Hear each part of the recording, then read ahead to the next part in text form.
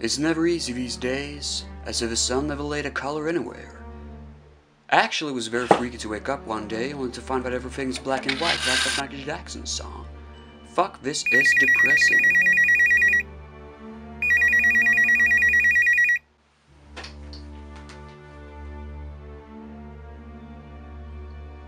Yeah? Uh-huh.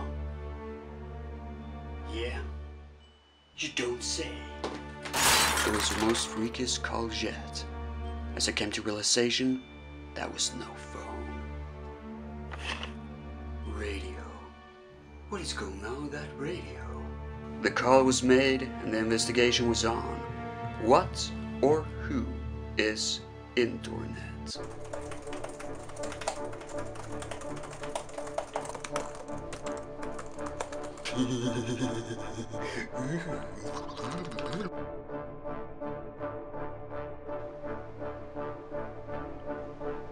After a long white time of investigation, I find it all out.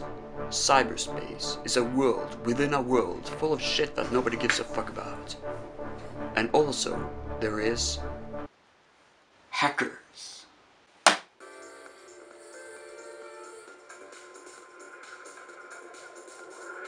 This film from the 90s really went haywire about computers. Get it? Haywire? Excuse me. Fuck it. The little boat flipped over. It's about this boy who had computers when he was like 10. Since the movie takes place a few years later, we had to assume he used a 80s computer. He must be the coolest kid in the block. Actually, his name was Zero Cool. Anyhow, the guy is now around the age of 19 and a total dumb fuck in social skills, but still a lord with the computers. He gets to meet a couple of nice pals and uh, get a love interest who treats him like shit. Actually, I kind of like his relationship with Angelina Jolie. She's an asshole, but uh, also quite good as a rival to Zero Cool. No meaningless girl saying, Help me all the time. The best part is when Zero Cool and Angelina play some.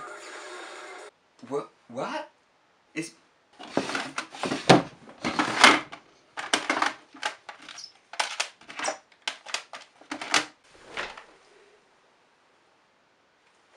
Wipeout. Actually, that's right. The first version of Wipeout for PlayStation 1. Sweet as fuck.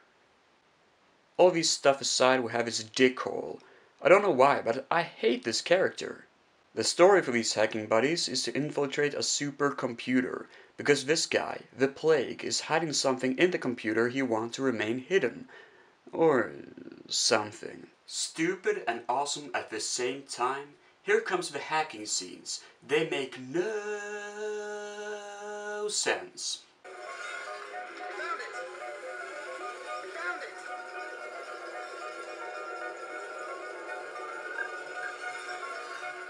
But is that bad? Oh no. These are a wonder to look at, even though it makes no sense whatsoever. And as any movie from the 90s, it's packed with product placement. This guy here is called Nikon. Well, I wonder where he got that name from. Overall, this is a 90s film that hasn't aged too well. Is that a bad thing? Nope. I like this movie a lot. Three of five stars.